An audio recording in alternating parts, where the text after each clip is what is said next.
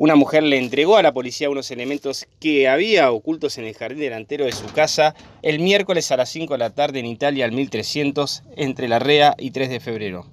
La mujer de 64 años llamó al Servicio de Emergencias Policiales 911 y cuando concurrió el móvil de comando de patrullas les entregó a la subteniente Rosana Espinosa y Cintia Valdés dos machetes, un trozo de hierro y un taladro de mano antiguo.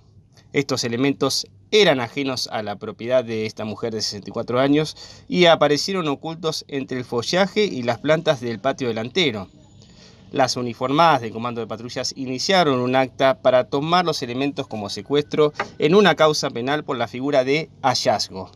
Las actuaciones judiciales se instruyen en la Fiscalía número 7 de la fiscal Alejandra Giotti, quien debe determinar la propiedad de los mismos y cómo aparecieron en el jardín delantero de la mujer en calle Italia al 1300.